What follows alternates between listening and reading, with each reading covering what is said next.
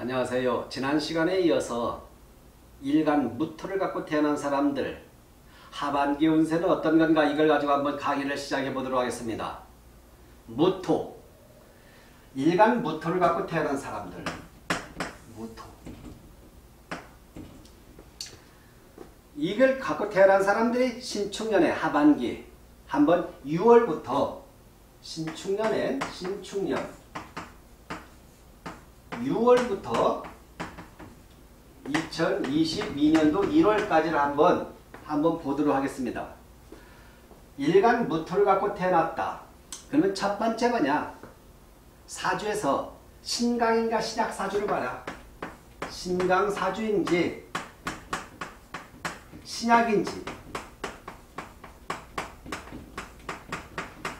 이게 가장 관건입니다. 무토를 갖고 태어났는데 신강사주다 그러면 일단 신강사주다면은 올해 하반기 운세가 6월부터 7월이 어떻냐 이게 볼 수 있겠죠. 자 그러면 태어난 달이 인묘진 사오미 신유술 해자축 자 만약 태어난 달이 여기에 태어난 달에 여기서 만약에 예를 들면 진월을 갖고 태어나거나 진, 그 다음에 예를 들면 사오미에 태어나거나 아니면 술월에 태어나거나 축월에 태어난 경우 기본적으로 이렇게 있을 때 사주가 좀 신강해집니다. 이런 경우 신강사주에 해당이 되겠죠. 태어난 달이 진달, 사달, 오달, 미달, 술달, 축달. 그런데 두 개만 좀 참고해봐라. 진하고 진하고 축은 주변 상황에 의해서 많이 좀 조정을 받아요. 만약에 축월이 태어났다면 이 축은 오행상 수의 기운이 강하게 보기 때문에 이런 부분에는 주변 상황을 잘 보고 해줘라. 이게 절반, 반반이 들어올 수 있다는 거죠. 절반은 축의 기운이지만 또 절반은 수의 기운이 있으니까 그 부분을 잘 봐야 되고 진월에 태어났다면 만약에 진월에 태어났다면 여기에 만약에 자가 들어오거나 아니면 자가 해당이 될 때 이럴 때는 조금 주변 상황을 보고 신강한지 신약한지를 봐줘야 되고 나머지는 나머지는 그냥 소신껏 신강으로 정확하게 보도 큰 무리는 없다 이렇게 설명할 수가 있습니다. 일단 신강사주인지 신약사주인지 보니까 신강사주에 해당이 된다면 올 하반기 한번 좀 그래도 운세 흐름이 있다 이렇게 참고해 볼 수가 있습니다. 어쨌든 신강사주의 무토를 갖고 있으면 어떤 부분에서 좀 좋냐? 이 무토가 신강 신축년에 부동산에 대한 부분은 참 좋다 이걸 이야기할 수 있어요. 부동산.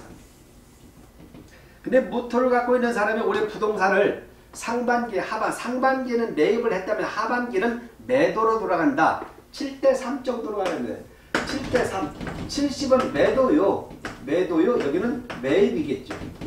그러니까 매도가 훨씬 더 강세다. 그래서 내가 매도하고 현금 주머니에 돈을 준다 이렇게 설명할 수가 있습니다. 무토 일간을 갖고 태어난 사람이 그렇다는 것이죠. 어떤 사람 신강사주인 경우가 그렇다는 것이죠.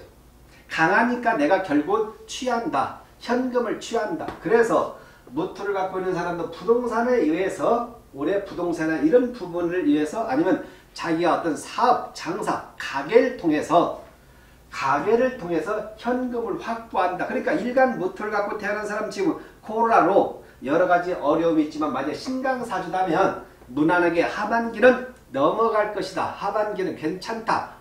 결산 때려 보면 4, 4분기 마지막 결산 보면 그래도 돈을 좀 벌었구나 이렇게 저는 설명할 수가 있습니다.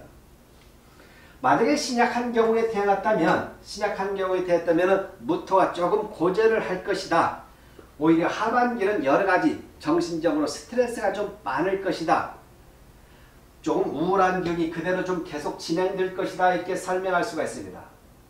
자 그런데 만약에 여기에서 지금 이 계절에 태어났다면 괜찮습니다. 조금 전에 이게. 근데 만약에 여기서 예를 들면 신유나 예를 들면 해자축에 태어나 신유월에 태어나거나 이게 신유 이런 달에 태어났다면 신달이나 유월에 태어났다면 올해는 뭐냐 돈에 대한 부분이나 직장 내에서 직장 내에서 고민이 굉장히 많다. 뇌가 아프다 이걸 설명할 수 있습니다. 하반기에 특히 이런 달은 더욱더 머리가 아프다. 신과 유월에 태어났다면 해와 자월에 태어났다면 어쨌든 특히 신과 유월이라면 그 중에서도 가장 왕중왕 스트레스가 심하다. 어떤 부분에서 직장 내에서 그렇다는 거죠. 금전적인 부분도 좀 약세다 이렇게 보겠죠. 그러나 나머지 이런 달에 태어난 것은 그 우여곡절 속에서 결국은 가게 사업을 통해서 재물을 춘다. 재물을 얻게 된다 이렇게 설명할 수가 있습니다. 자, 그러면 달을 봐야겠죠. 조금 전에 제가 설명했지만은 올해 만약에 지금 6월 달이면은 이제 가보달입니다. 가보달. 을산 아니 을미달이는 그 가보 을미 병신 정유 무술 기해 경자 신축 이렇게 되겠지. 이게 여기 지금 6월이죠. 6월, 7월, 8월, 9월, 10월, 11월, 12월, 내년 1월 달. 여기에 들어와 있는데 일단 이 무토를 갖고 있는 사람들이 혹시라도 저는 창업을 한다 하면은 창업을 하고자 한다면 저는 하반기에 그래도 한번 해볼 필요가 있다. 이렇게 제가 볼 수 있고 매도를 한다면 매도를 한다면 이 달이 가장 좋다 이렇게 보겠죠. 매도를 한다면 이 달. 양력으로 7월달, 7월달 전후 10월달 이 달에 매도에 대한 글자가 나온다 이렇게 볼 수 있겠죠. 이런 달에 매도를 하게 될 것이고 다른 달에는 문서를 잡고자 한 어떤 취하고자 한다. 그러니까 매도 기운 자체가 강하다. 특히 매도 기운이 강한데 이 달에도 매입 기운도 있지만은 그러나 매도가 강한 달이다 이렇게 설명할 수가 있습니다.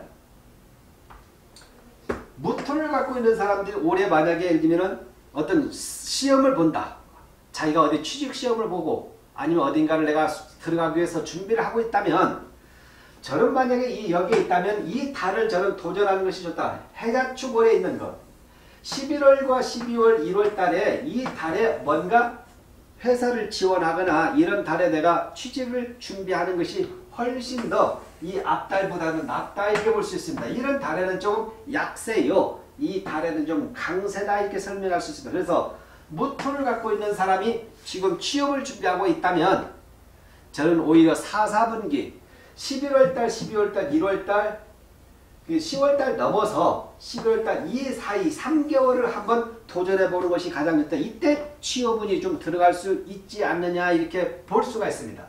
그러나 앞부분에 있는 것은 좀 힘들다. 조금 전에도 얘기했지만 지금 직장을 무토가 직장인들은 직장인들은 8월달, 9월달에 조금 마음적으로 여러 가지 정신적으로 좀 힘든 달이다 이렇게 설명할 수 있고 이 달 지나면 좀 서서히 좀 회복될 것이다 이렇게 설명할 수가 있습니다.